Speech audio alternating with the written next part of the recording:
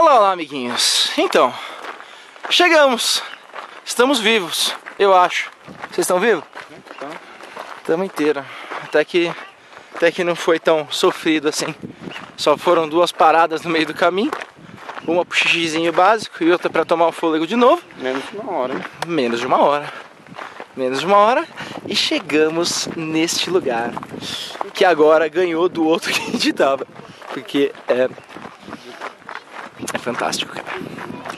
Que vocês vão ver agora. Olha isso. Cara, é lindo demais, cara. É lindo demais. É quase tão bonito quanto o Lago Negro em Gramado, no Rio Grande do Sul. Por favor, Jean, dê, o- dê, o seu, dê o seu toque de separatismo no vídeo. Lago... Não, separatismo não.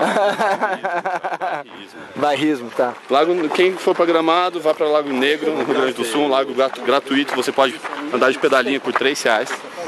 Tem um chocolate quente fudido e a noite é sensacional. Sensacional. Mas o que importa. O Lago de Araras também. Pode falar do Lago de O Arara. Lago de Araras também é sensacional. Interior